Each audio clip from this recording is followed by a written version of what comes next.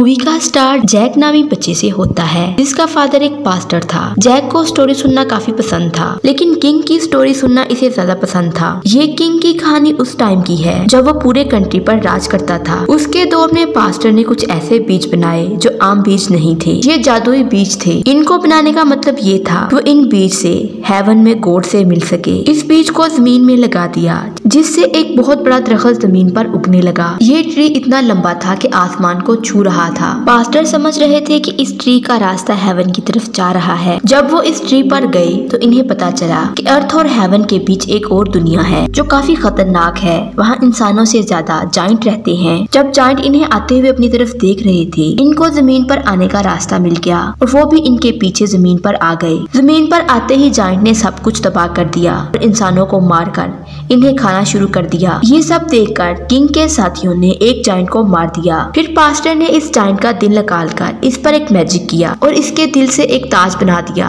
जब किंग इस ताज को पहनकर जाइंट के सामने गया तो ये सारे जाइंट किंग के सामने झुक गए। इसे अपना किंग मानने लगे। किंग इन सारे जाइंट को ऑर्डर देता है, तुम लोग वापस अपनी दुनिया में चले जाओ। ये सारे जाइंट वापस चले गए। फिर किंग ने इस ट्री को कटवा दिया और इस ट्री के बीज को अपने पास रख लिया। जब किंग की मौत हुई, इसके साथ ही वो बीज और ताज को हमेशा के लिए दफना दिया गया। ये स्टोरी जैक के अलावा प्रिंसेस को भी काफ़ी पसंद थी, क्योंकि प्रिंसेस किंग की फैमिली में से थी, इसलिए वो इस स्टोरी के बारे में जानती थी। फिर मूवी में दस साल बाद दिखाया जाता है, जहाँ जैक अब काफ़ी बड़ा हो गया था और सिटी में अपना घोड़ा सेल करने के लिए जा रहा था, जब वो सिटी में देखता है कि उसी किंग का ड्रामा चल रहा था, जिसकी वो कहानियाँ सुना करता था। ये ड्रामा देखने के लिए अंदर चला जाता है। वहाँ प्रिंसेस भी अपना बेस बदल कर आई हुई थी। वही कुछ लोग प्रिंसेस को तंग करने लगते हैं। जैक इसे बचाने के लिए आगे बढ़ता है। तभी ये लोग नीचे झुक जाते हैं, क्योंकि पीछे से प्रिंसेस के लोग आ रहे थे। ये लोग प्रिंसेस को अपने साथ ले जाते हैं। नेक्स्ट रोग को दिखाया जाता है, जिसके साथ प्रिंसेस की शादी होने वाली थी। पर प्रिंसेस रोग को पसंद नहीं करती। रोग स्टडी रूम में देखता है वहाँ सामान बिखरा पड़ा था। इसे वहाँ वो ताज मिल जाता है, जो काफ़ी सालों पहले बनाया गया था। लेकिन इसमें से एक चीज़ गायब थी। रोग अपने सोल्जर को ऑर्डर देता है। कि सारे सिटी को बंद कर दो और उस पास्टर को तलाश करने की कोशिश करो। इधर जैक के पास एक आदमी आके कहता है, मुझे तुम्हारे घोड़े को खरीदना है। ये जैक को कुछ बीज देता है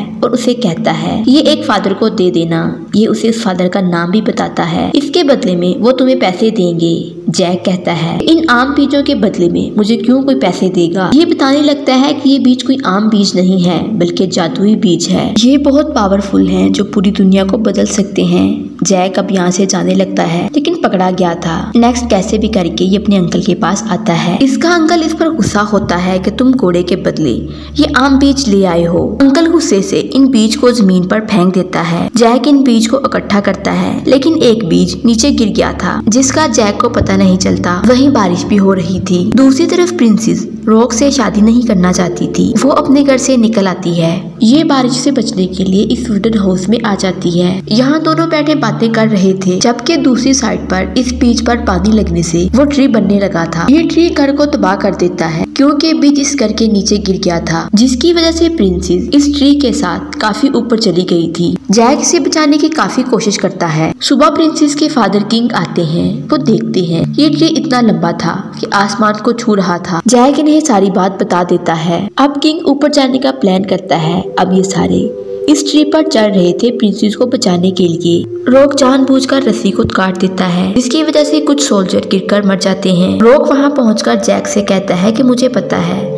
तुम्हारे पास वो जादुई बीज है। ये जैक को चाकू दिखाकर इससे ज़बरदस्ती वो बीज ले लेता है। जैक ने एक बीज अपने पास चुपके से रख लिया था। अब ये अलग अलग जगह पर प्रिंसेस को ढूँढने लगे थे। वहीं पर जाइंट आ जाता है। वो जैक के दोनों साथियों को पकड़कर अपने साथ ले गया था। जैक भी अब इसके पीछे जाता है। वो प्रिंसेस को ढूंढना चाहता था। इसे लगता था की जाइंट जहाँ जा रहा है, वही इसने प्रिंसेस को रखा होगा। दूसरी तरफ़ रोक अपने साथियों के साथ था। इनमें से वो एक को नीचे फेंक देता है। इतनी देर में वहाँ जाइंट आकर इसके सामने इसके साथियों को मार देता है। ये रोग को मारने लगा था।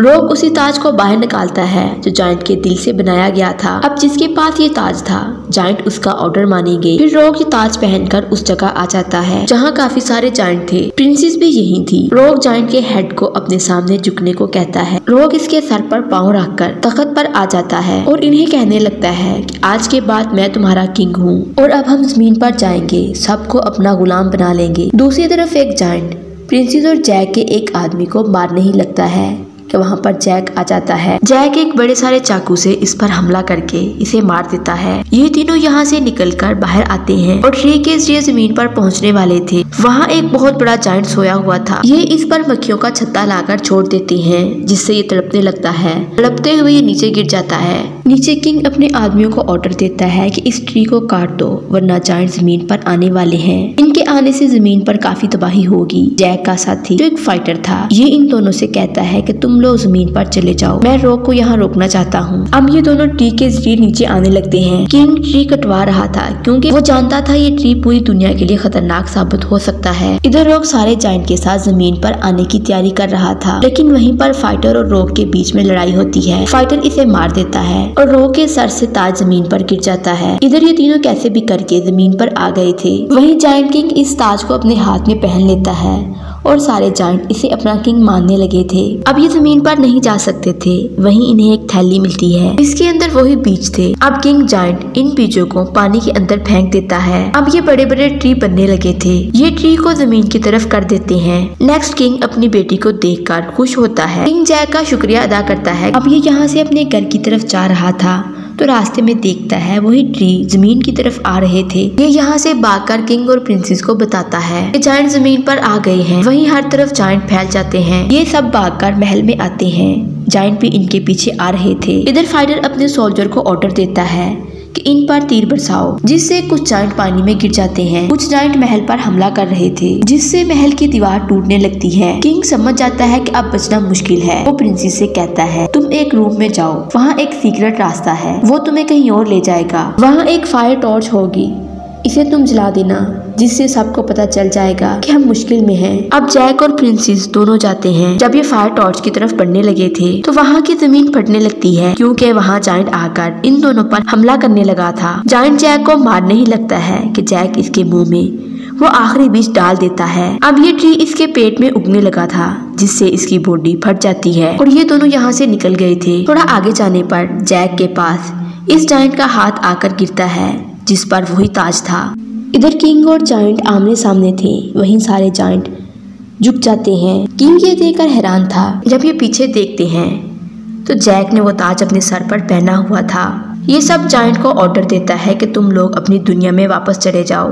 जब ये अपनी दुनिया में वापस चले जाते हैं तो इन्होंने सारे दरख्तों को कटवा दिया था और आखिर में दिखाया जाता है, प्रिंसेस और जैक की शादी हो जाती है। इनके दो बच्चे थे।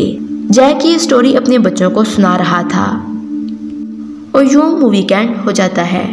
वीडियो अच्छी लगे चैनल को लाइक शेयर एंड सब्सक्राइब ज़रूर करें।